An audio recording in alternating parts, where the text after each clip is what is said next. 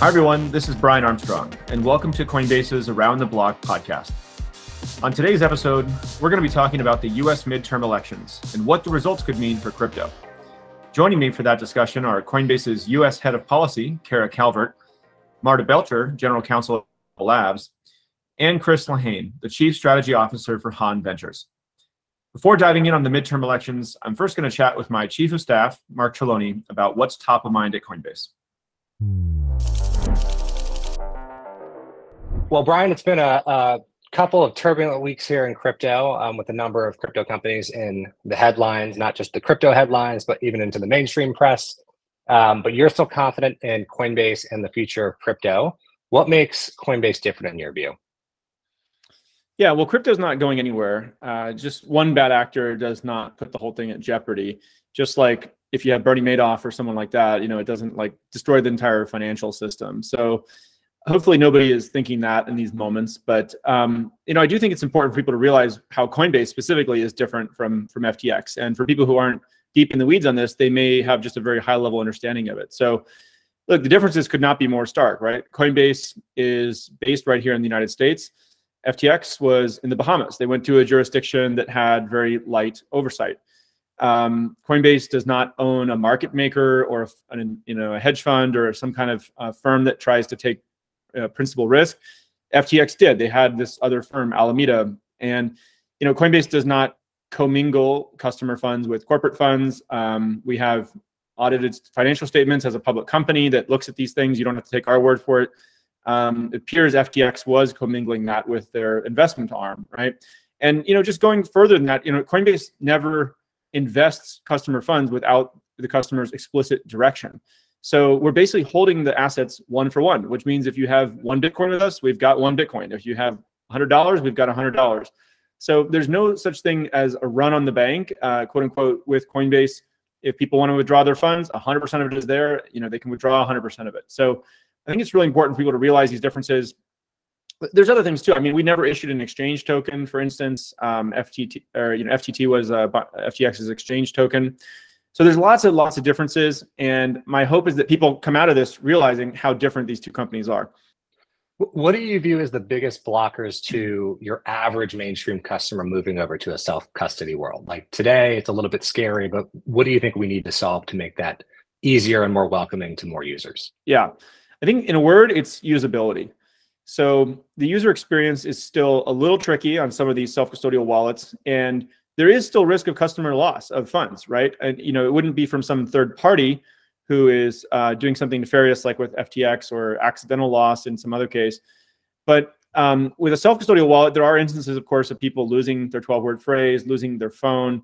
So we've put a lot of hard work into ensuring that, for instance, Coinbase Wallet um, it's very difficult for customers to lose their funds. We basically force you know customers to make some kind of a backup. It's done in an encrypted way with one you know Google Cloud or, or um, Apple's cloud product. Um, I think there's really interesting things we can do over time around social recovery, uh, smart contract based wallets, or even if you want to do it entirely on your own, we should make it possible to do multi-party computation, multi-sig type applications in Coinbase Wallet. And I think uh, we've got a lot of exciting there, stuff there on the roadmap, and if if we can get there, we'll see people storing you know huge amounts of money in self custodial wallets, not just treating it as a wallet in Web three. Maybe switching gears, um, it feels pretty clear that we are in bear market territory in crypto. Uh, as you think about entering this period, like how do you think Coinbase or even other um, crypto companies need to change course to harden harden themselves for what could be a tough period? Yeah. Well, we've gone through lots of tough periods in crypto. Uh, Coinbase has been through four of these cycles now or so. And so it's good. Actually, it builds resilience. And the, the key thing to remember in these markets for every crypto company is basically don't die, right? Um, if you don't die, you'll come out of this thing even stronger. And you know, Coinbase is not going to die. We've got over five billion dollars of cash on the balance sheet. Um, we're a very strong company. We've been through four cycles like this. We've come out of every single one stronger. But think about you know, go back to 2008, the financial crisis, right? There's lots of things which are unpleasant for companies to go through, like, you know, various big companies, Gold, Goldman Sachs and Wells Fargo, they had all kinds of, they had, you know, congressional testimony. Um, they had a lot of negative sentiment out there in the market. They had bad quarters where the public markets really hated them.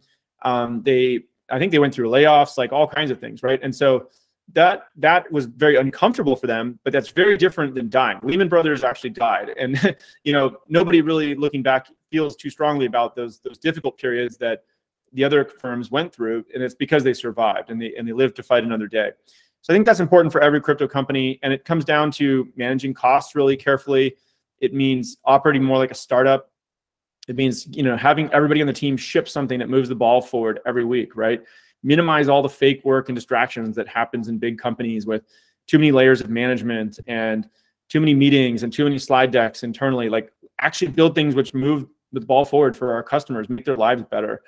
Um, you know try to you know don't have people that are just in purely managerial roles managing a couple people or something. Like you, you can flatten the org make it more efficient.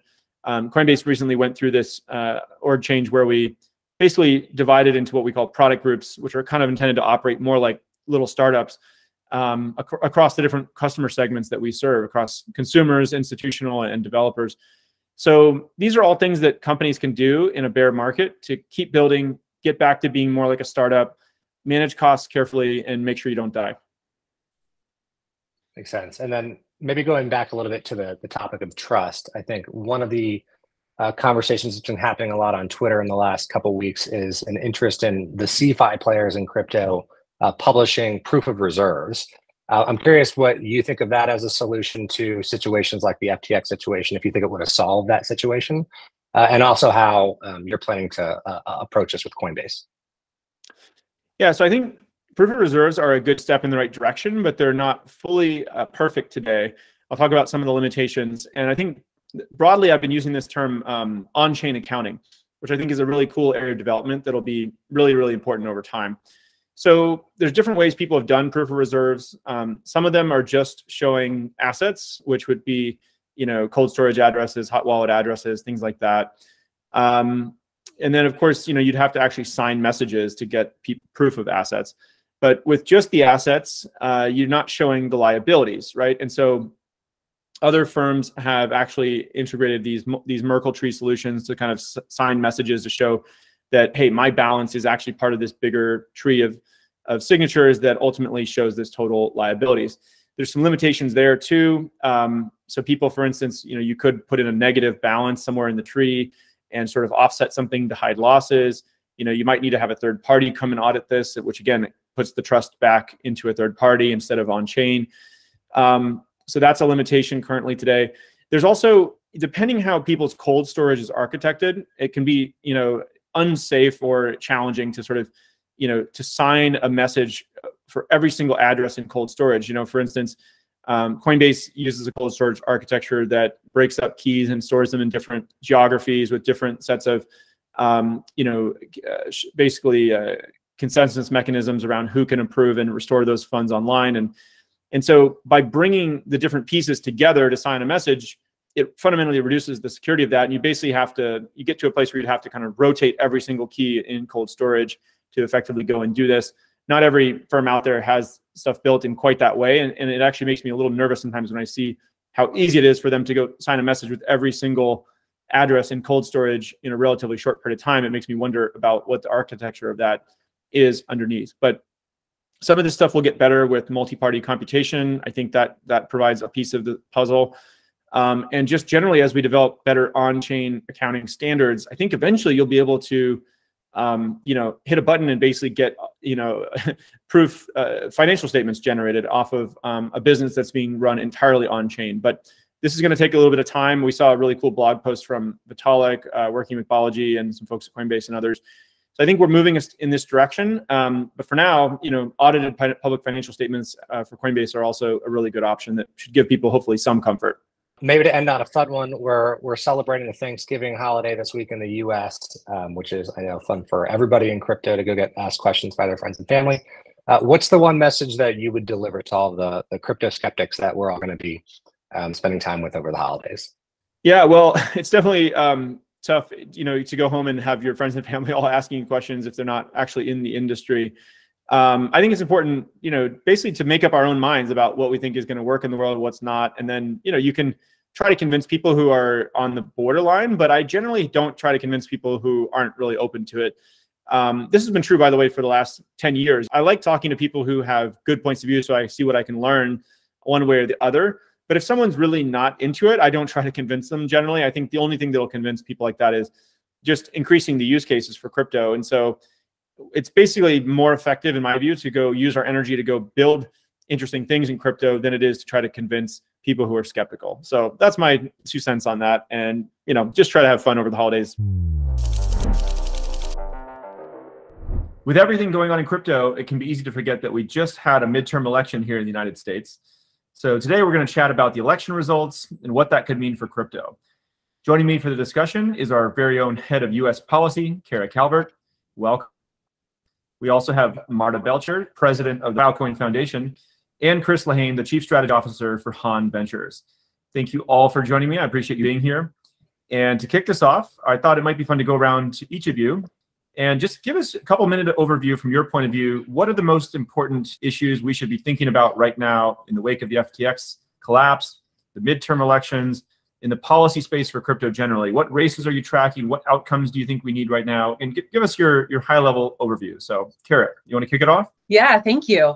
So I really think what we've seen over the course of the last year is a, a truly um, arriving of crypto on the policy scene. And we've seen it at the state level, at the local level, and certainly here at the federal level. And I think what we'll see in the, in the following year is a building on that foundation. So whether it's in, I think for some of the races that I've been really closely watching, I think the, the governor's race in New York is a great, is a great um, temperature check here and trying to understand where crypto is headed in New York. It's our primary regulator with the New York DFS. So we were closely watching to see what is happening in the states. We've also seen it across the House and the Senate here in Congress and helping to determine what's what's the trajectory next year of regulatory bills. And really what we're fighting for is to try to get more uh, a, a clearer federal regulatory path while at the same time ensuring that the states can continue to operate and be innovative. And I think we've seen an election happen this year that is really going to set the foundation for next year. Great. Marta, what are your thoughts? Well, I completely agree with everything that Kara has just said. Um, and I would add, I think this is a particularly important moment for cryptocurrency in Washington uh, with the fallout from FTX. Um, I think at this moment, um, any regulations that we see come through uh, are likely to not be great for innovation uh, in crypto. Um, and so for me, I think this is a moment when it's really important to remind lawmakers, first of all, that cryptocurrency has use cases that go far beyond uh, finance and, and far beyond speculation and certainly far beyond with what we've seen with FTX. So I think it's a really important moment to talk about why crypto is so important for the future of the internet. Um, second, I think it's a really important moment to, to explain to regulators and lawmakers um, that what we saw with FTX was really a failure of centralized technologies, not a failure of decentralized technologies. Uh, and I think that uh, at this moment in time, uh, we have a lot of work to do uh, to make sure that what's happened with FTX does not um, cast a shadow over the rest of cryptocurrency in Washington. So I'm hoping that we can really get in there and do that education, uh, particularly with this new group of lawmakers that are coming in. Brian, thanks for having me. Kara, Marta, it's always great to be uh, on a podcast with both of you. Uh, it's always tough to go after you guys have gone because you always say really smart things. Um, but I have three three takes, and they sort of interrelate uh, to one another. Uh, the first is just seeing the impact uh, of the youth vote uh, in this in the midterms. Um, you know, second highest in 30 years um, for voters, you know, 30 and under. Uh, and I'm saying this obviously as someone who's well, not obvious, but I'm a Democrat. I come out of Democratic circles.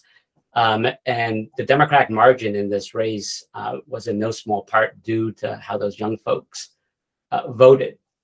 Uh, those same folks, if you sort of do the Venn diagram, overlaps an awful lot with my second point, which is the emergence, recognition, consciousness by elected officials of the crypto voter, the Web3 voter.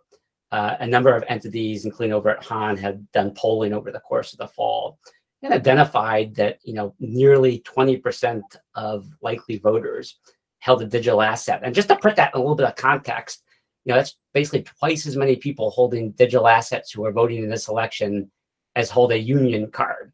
If you think that Twitter is somewhere around 23% of adults, at least it was prior to the last couple weeks, you know, crypto is starting to get to those levels uh, in terms of just the number of people.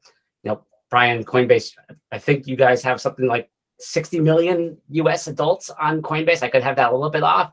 But you know, think of the presidential election voter universe of 200, uh, two, you know, 200 million people. Like you guys represent a really big chunk of those voters. Um, and those voters really are these Web3 voters. I do think elected officials are becoming much more conscious of them, and they do tend to tra track younger. They do tend to track uh, uh, much more diverse. Um, and they're motivated by values. And that was the really interesting thing that we saw with the polling. Uh, these are folks who don't believe the current economic system is working really well for them. Uh, they don't like the power of big tech. They don't like the power of big financial institutions. And they look to digital assets for a, a more open, more accessible economic system. So takeaway number two, the emergence of that voter. And I think takeaway number three, and this certainly relates to the debacle of, of FTX, uh, I think this is happening at a moment when there's a lot more eyeballs on the Web3 space than may have happened when there were other controversies in the past. So I do think there's going to be a longer tail and a bigger hangover uh, to this. And I think that really um, reinforces the point, Marta, I think both you and, and Kara were, were making in different ways, but how important it is for us collectively to be talking about the social value proposition uh, of, of Web3. And in particular, and Brian, I think you've been great out there. You've been talking a lot about this the last week or so. You know, this idea that there's really sort of two paths. Like we can continue on the path that US regulators have taken, or we can think about actually putting in place a framework here that allows these businesses to grow here, work under the rule of law, be responsible. Obviously, Coinbase validation, I think, of, of the approach Coinbase has taken. I'm not just saying this because I'm on your podcast. I've said this already at other venues. Uh, but I think for the space, they really need to be making making that point and, and making that argument uh, because I think these issues are going to be teed up for that conversation. Final, final, final. I said three points. Last one. If you actually look at some of these races that John Fetterman raised, some of the other races, economic nationalism was a big issue in those states. Uh, and it's going to continue to be. And this is sort of where it really overlaps with some of these issues. So um, I think a lot of really interesting things come out of this election. We have our work cut out for us, but some real positive levers that we can pull. Well, Marta, this next question's for you, but you know, Chris and Kara, feel free to jump in. All three of you jump in on any of these if you have something you want to specifically add. But Marta, it looks like you know there's at least 20 new members in the House and the Senate who are pro crypto. Um, how do you think this is going to play out? What does this mean for crypto legislation? How might something get passed in 2023? What are your thoughts? Yeah, so you know, I think that uh, it's fantastic to see so many new members of Congress who uh, have an interest in crypto, um, and there's been a lot of uh, amazing work uh, to make that happen. Uh, and you know, I think really what we're seeing here that is the most impactful um, is that we've seen first of all a change of control of the house from from democrats to republicans um, and so i think that's going to have a bearing on really what can get done um, uh, in this next Congress. Um, but I think importantly, another thing that we're seeing is not just having new members of Congress who are interested in crypto come in, but crypto advocates in Congress actually taking leadership positions. Um, so, one example is uh, Congressman Emmer being elected the House Majority Whip. Um, he's been an uh, avid champion for crypto for for years, um, and I think it's very likely um, that we'll also see uh, Congressman McHenry uh, become the chair of the House Financial Services Committee, um, which could also be very big for crypto. Um, I think he's someone who also has been uh, really strong advocate for the space. Um, so I think those two things could really uh, help. Uh, I think one sort of big picture zoom out um, is that I think in from my view, in recent years, we've really seen crypto uh, become uh, first at first it became i think uh, actually quite partisan unfortunately and i think we've been seeing that transition to being much less partisan. So you've been seeing a lot more Democrats who are starting to really get crypto. Uh, Senator Booker is one fantastic example of someone who really understands the value of crypto for progressive causes. Um, so I think over time, we've definitely seen cryptocurrency in really very recently just start to become much more bipartisan. Um, and I'm hoping that that's what we'll see um, in this upcoming uh, Congress as well.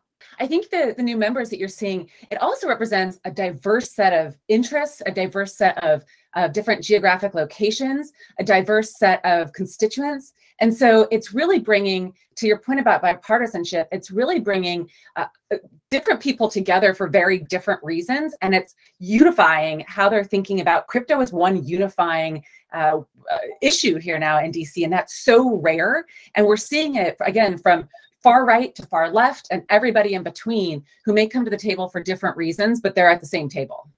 Yeah. So, Chris, I mean, you worked in the Clinton White House. And um, by the way, there's a great documentary that I love called The War Room and uh, talks about some of the comms efforts that go on in the background. I think maybe, Chris, you may want to tell a little bit of your story just about how your career started. But you know, my understanding is that um, in that Clinton White House where you were working, they the, at that time the Senate and the House were, were Republican in 1994. So um, we just learned that the GOP won the House um, in this midterm. And given that crypto is a bipartisan issue, but we have a divided government here, you know, how do you think this is going to work out with crypto policy efforts, um, especially in the wake of DCCPA uh, running into some trouble? Yeah, it's a it's a great question. Um, you know, and just to the beginning of your, of your question, yeah, I served in the Clinton White House and the Clinton campaign in '92, and, and, then over the two terms at, at the White House. And um, uh, amongst my responsibilities, uh, particularly in the White House, was helping to oversee the version of the war room that was sort of put together uh, in in the White House. I had a lot more hair then, um, uh, and uh, you know that that that certainly had an impact on on my uh, on my on my hair. But um, I, you know, this time period really reminds me an awful lot of 1996. And in 1996, you had obviously a Democratic Clinton White House and the Republican Congress. But 1996 was also when the Telco Act was passed. Um, and it was a bipartisan piece of legislation uh, in a time period, at least by that historical reference point, where things were really polarized. And the reason these and ours, Democrats and Republicans, came together on the 96 Telco Act was a, a general understanding that the US had an opportunity to make a policy decision to make sure that the internet was going to be based and located uh, in the US. I think some of those same dynamics exist today in terms of the lessons learned or lessons extrapolated. Um, I think in some ways we're even more polarized than we were back then. Um, I also think, given how close some of the numbers are in the Senate and the House, um, it may be even harder to try to thread that needle. That said, I do think one of the few areas where you have seen bipartisan agreement uh, over the last several years has been around issues of U.S. taking positions uh, vis-a-vis China um, and national security and economic competitiveness. And you know, you just look at the bipartisan support to make sure that the chips are going to be built here in the U.S there's a pretty compelling argument that if we're going to be doing all of this from a Democrat and Republican perspective to make sure microchips are built here in the US, we should also make sure, damn sure, that we're building the blockchain here in the US as opposed to sending the blockchain offshore. Uh, and so I do think, and we talked about this in the earlier question, you know, that the, the more we can talk about uh, about this from a, a national security and economic competitiveness perspective, it actually helps thread that needle between the Democrats and the Republicans because it is amongst one of the few issues that they'll all agree, agree upon. And I think Marta said it really well. And Kara has been a big, big, big contributor to this in terms of her work. This is now a bipartisan issue. Uh, and that's that's a pretty significant achievement. If you had asked me at the beginning of this year, you know, where crypto and Web3 would be from a Democrat Republican perspective, and you had told me we would end up this would end up being bipartisan, um, despite everything that's happened, that is a pretty significant achievement. And now I think it's really critical to build off of that. Yeah, it's been great to see that both sides of the aisle are kind of willing to work together on crypto issues. And um, it gives me more confidence that we'll see some regulatory clarity here in the US, hopefully in the next year or so. Kara, we've talked about the elections at the federal level that happened, but there's also in 6,200 state legislators that were elected as part of the, the midterms. And I'm curious, what's your take on how crypto policy will evolve at the state level in 2023? Yeah, 6,200 uh, elections on Tuesday and a lot of new members and all those new faces. Again, it's a diverse set, right? And with a lot of different interests. And I think we'll absolutely see an uptick this year in state bills. We saw last year hundreds, to be honest. There were across the different legislatures everything from wanting to collect tax payment in crypto, wanting to be able to invest crypto in different ways, um, wanting to make sure that it was, you know, environmentally sound. There were a lot of different bills out there. And I think what we'll see coming up next year is a lot of the same, where you see states actually starting to compete for innovation. And they start to think about how do we ensure, how do we create a state regulatory regime? Because again, you know, Coinbase is, as, as you well know, you set up the company this way where, you know, we have 45 money transmission licenses. We have licenses in every locality that we need to operate. We have a BitLicense. we have a New York trust charter. And so we really have to be um, thoughtful about how we work in the states because that's the regulatory regime we work under now. And so we'll be working with all these state legislators as they come in. Certainly, we are at the same time going to keep pushing for federal regulation. That's we think at the end of the day, this is a you know not only is it global and, and cross border, but here in the U.S., it really makes a lot of sense to have a federal framework so everybody's on the same playing field, everybody is responding to the same rules. So we think that there will have to be federal legislation next year, and we have a really good, you know, ground game for that. Again, I think that these are going to have to work together at the state and federal level. Well, Marta, let me come back to you. So I think there's agreement that the current regulatory framework for crypto doesn't work, especially here in the U.S. Um, so how does an organization like Filecoin Foundation think about how to improve that situation and create workable rules for crypto right here in the U.S.? Well, I think the first most important thing to say uh, is that it is a myth that cryptocurrencies are unregulated. Um, and whenever you hear people talking about regulating cryptocurrency, um, I think it's really important to make it clear um, that actually the on ramps and off ramps where people are buying and selling and custodying cryptocurrency. I mean, I don't have to tell you this, Brian, um, are heavily regulated, right? Um, they're chartered banks or trust companies or state licensed money trans- transmitters, and um, they have minimum capital requirements, and they're posting bonds and opening their doors to yearly examinations, um, and they're cooperating with law enforcement. Um, and so um, I really think that it's um, a, a, a, myth um, that we really, I think, as an industry, should be making very clear to people is actually this space is is heavily regulated. Um, I also really object to the framing in general of the idea of regulating a technology. Um, I don't think we should think about it as regulating a technology. I think we should think about it as regulating activities um, related to that technology. so, just to give you an example, uh, if someone is committing fraud fraud. Um, it doesn't matter whether they're committing fraud using cryptocurrency or the phone or email or a pen and paper, right? So that technology really um, doesn't matter, and there are all sorts of actions, obviously, that can be taken because fraud is is already illegal. So basically, zooming out, big picture um, basically, we already do uh, sensibly apply existing laws and regulations to the cryptocurrency space. And I think we need to make that really clear. So there isn't this sense uh, among regulators and among, um, among policymakers in Washington that this space is just the Wild West.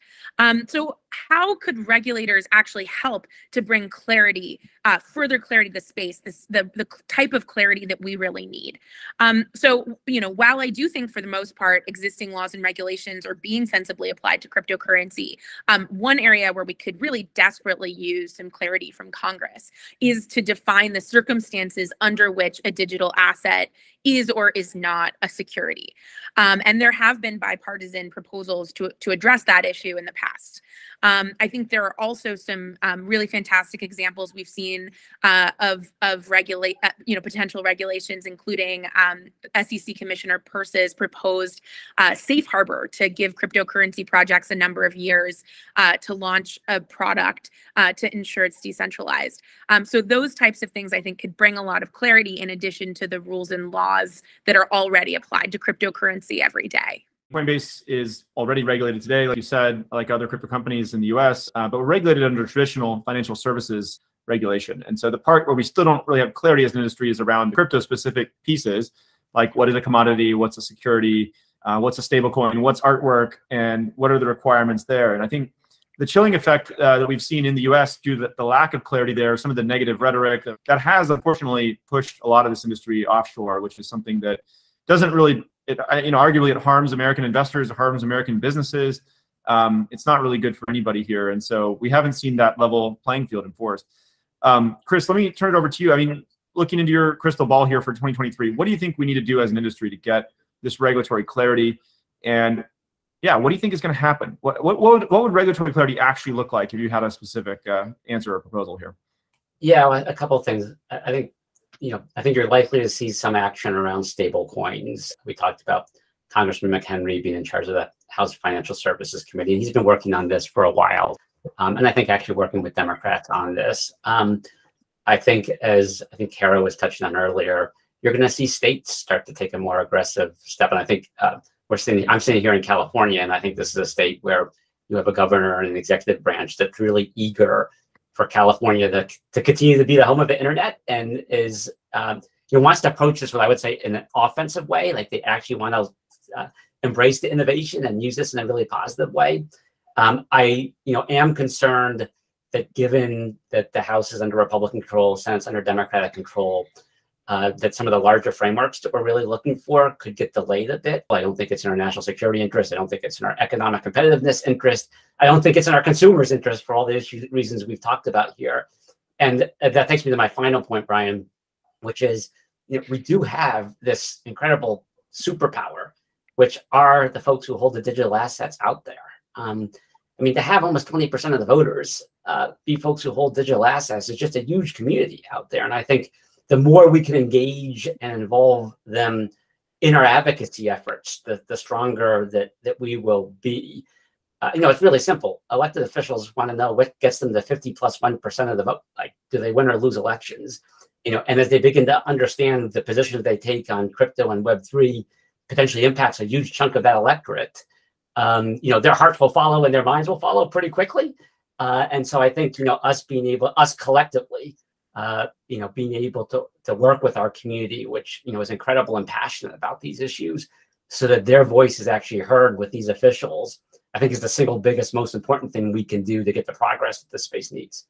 I like that a lot. And I mean, in a democracy, the government works for us, the people, yes. right? And so, if the people want crypto, um, we're going to elect leaders that are that are helping shape that in a positive way, and they're going to appoint regulators who are doing that in a thoughtful way. So um, I think as we grow the crypto community, there's a grassroots movement there that really is going to have many downstream effects. And we've tried to build a bit of this into the Coinbase app, by the way, too. People, you know, if you have the Coinbase app, you can kind of go into the that hamburger menu in the top left and check out the crypto advocacy link there. But we're trying to make it easier and easier for the, this growing crypto community, like Chris talked about, to go find information about the elected officials, the races coming up in their jurisdictions, and you know, you can see information from um, our third, a third party that we added there about who has grade on crypto. You know, are these candidates understanding crypto and the innovation potential, or are they anti-crypto for for you know whatever reason? So, anyway, Kara, let me turn it over to you. What do you think is going to happen in 2023 with these various bills going through Congress? The pieces of it, will they come back in a different format? And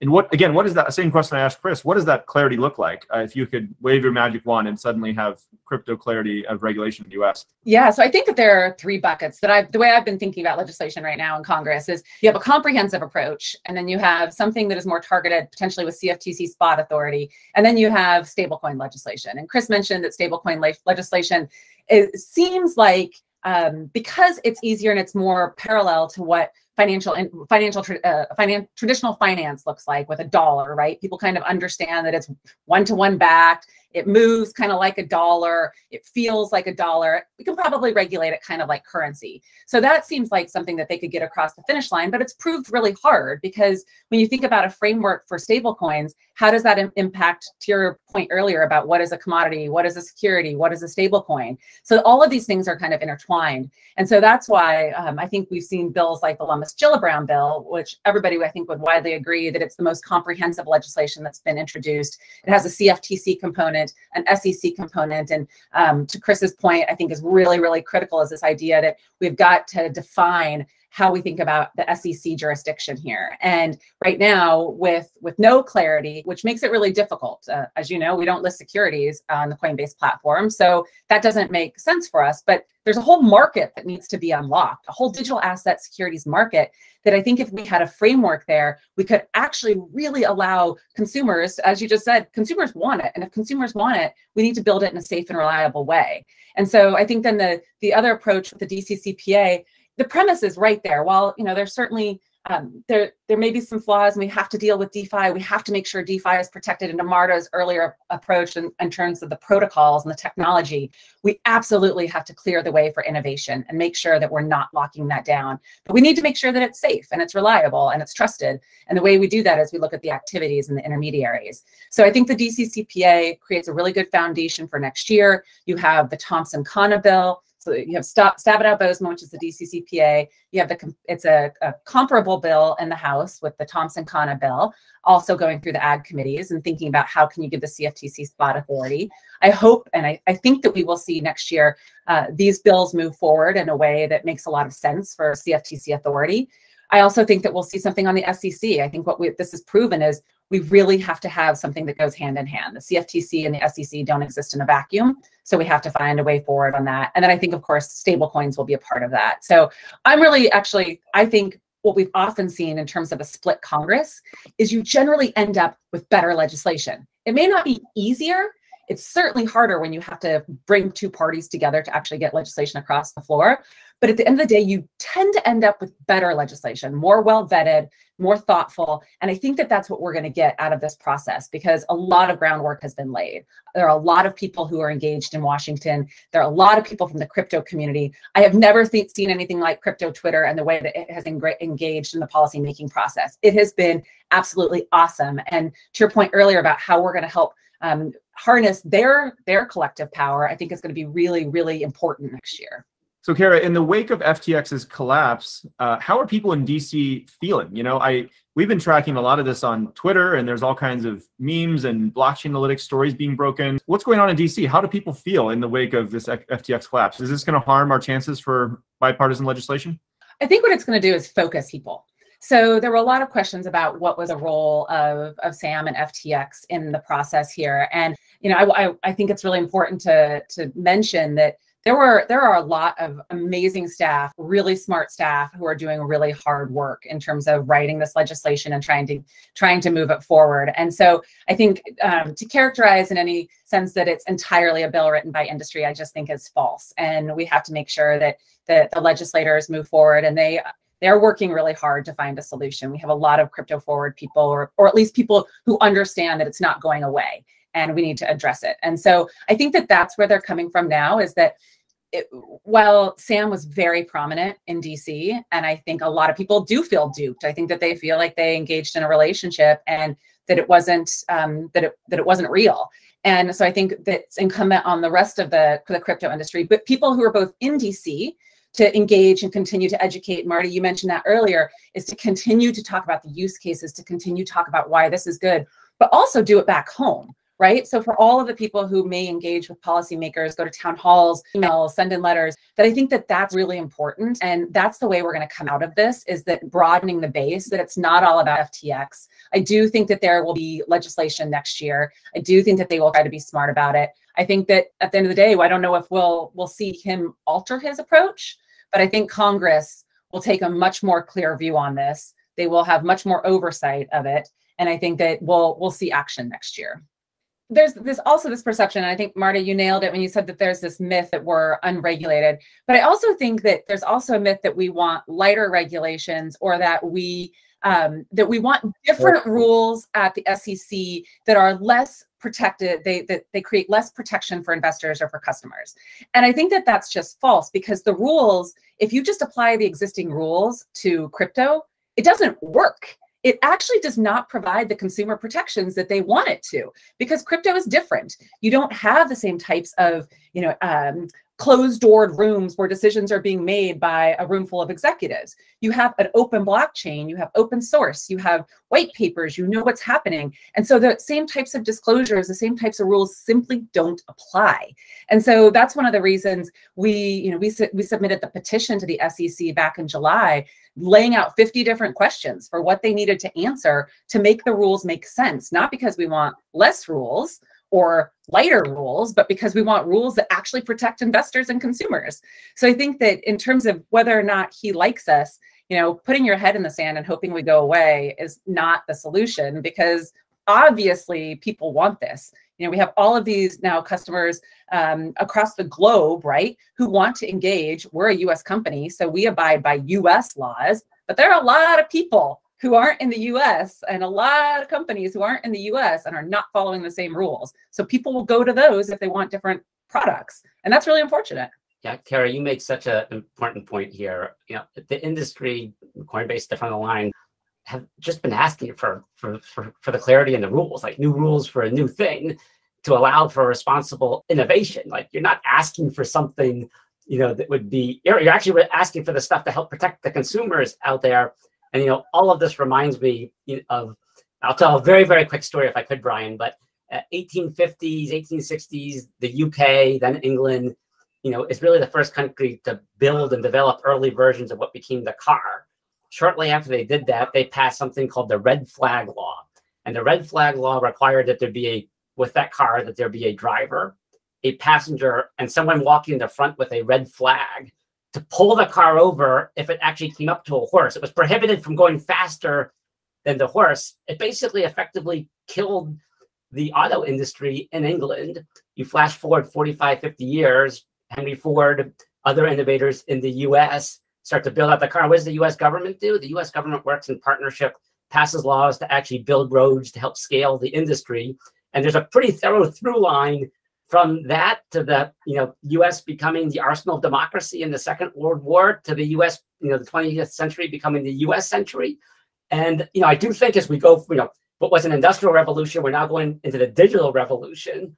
You know, to me, there's a real analog to all of this, is effectively a version of that red flag law to the detriment, you know, of long-term U.S. interests. Yeah, well, crypto has definitely been spooking some horses, and I, I will leave it up to the listener to decide who's the horse in this analogy. But um, Marta, let me turn it back to you. So um, let's talk about DeFi a bit. I mean, this was a hot button issue in the DCCPA bill it's kind of a difficult concept for many people to wrap their heads around, um, including folks in Congress.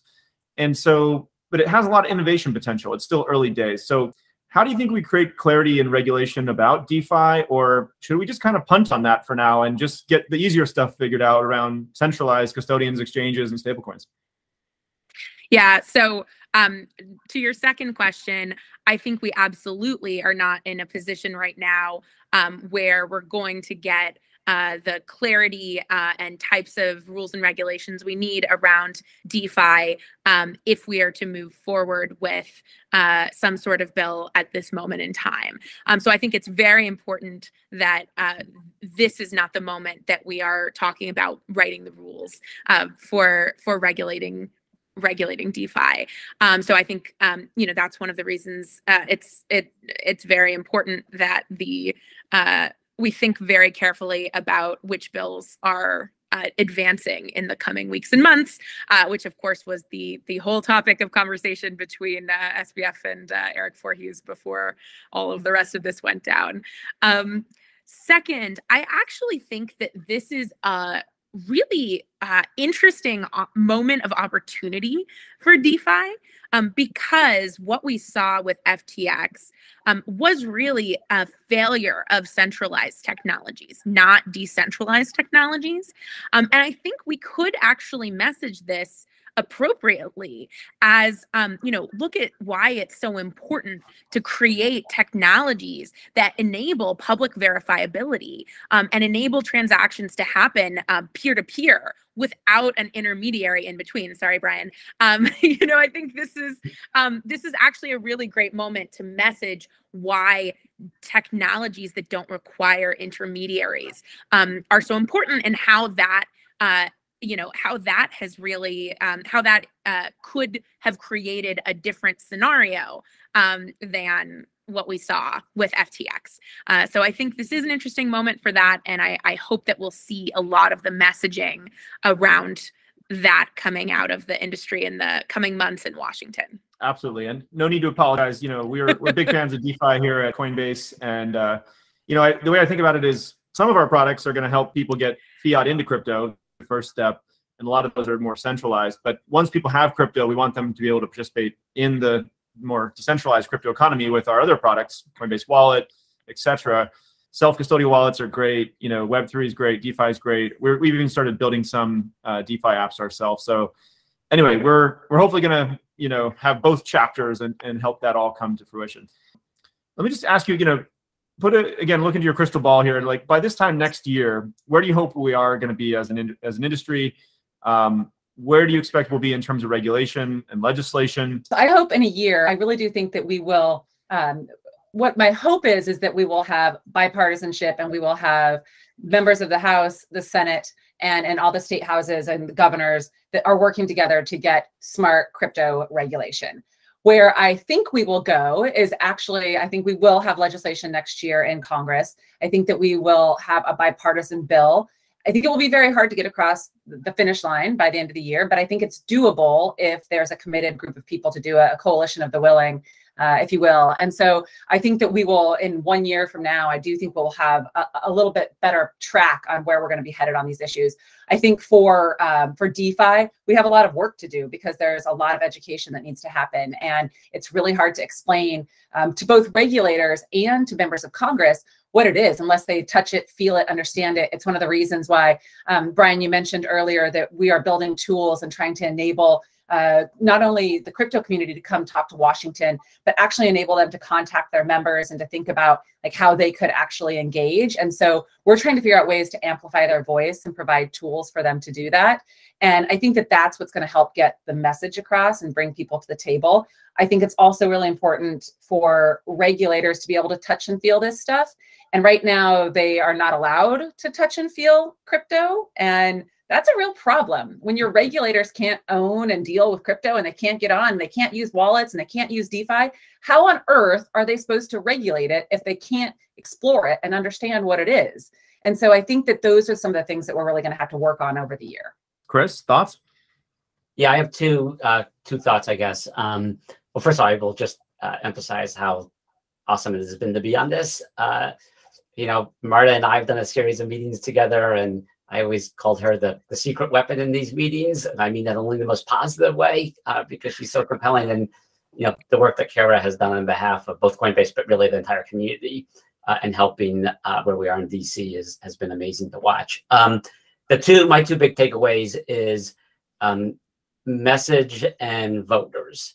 Uh, I hope that, you know, a year from now, that when people think about, particularly policymakers, elected officials, opinion elites, think of crypto and Web3, they're not just thinking about it as you know a financial speculative tool or class. They're actually thinking about this as um, as our from a national and economic security perspective and understanding, or at least beginning to understand that you know there is going to be a battle for what the pipes of the internet look like going forward and for the U.S. to win on that, prevail, and and and and small d democratic values to prevail on that. It's incredibly important that the U.S. is leading with this next generation of the internet. Um, that's pretty ambitious, but I do think um, I do think that is doable because it's such a compelling case. And I think the second is, and this has been a repeated theme, but but the the manifestation of those Web three, those crypto voters. You know, the presidential process has already kicked itself off. I think New Hampshire and Nevada, which is two of the earliest uh, voting states, uh, also are states that have some of the highest per capita percentages of, of owners of digital assets. I, I think it'll be great as uh, candidates begin to campaign in those states that they begin to realize that you know 20% of the vote in New Hampshire is a really, really, really big chunk of that vote, um, and that you're going to need to speak to those voters. So um, those would be my two goals, ambitions, aspirations. Yeah, Marta, the final word to you. Well, thank you for giving me the final word here. Um, Chris has been just absolutely phenomenal in hosting these this series uh, with policymakers um, and really getting people together to explain um, the fantastic use cases beyond finance uh, to uh, policymakers. And I think it's really been fantastic to educate people directly. So thank you for hosting those, Chris, and for all your other incredible work, uh, Chris and Kara. Um, I'm sorry to be a downer, um, but but um, you know we haven't talked about this a lot on uh, this episode of the podcast, um, but I actually think where a lot of the action is going to be this coming year um, is really going to be in privacy.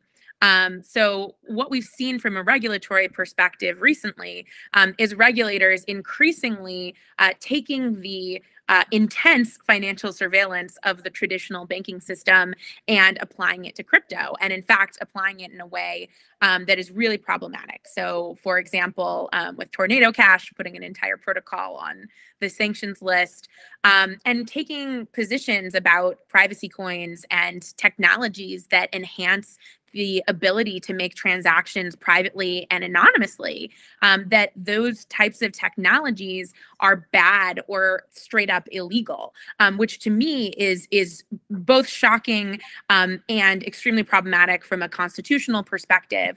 Um, and so I, I think this is really where a lot of what's happening in uh, crypto law is is heating up, and I think these are really important battles for us to take on, both in the public sphere, uh, also in Congress, uh, and in the courts uh, this coming year.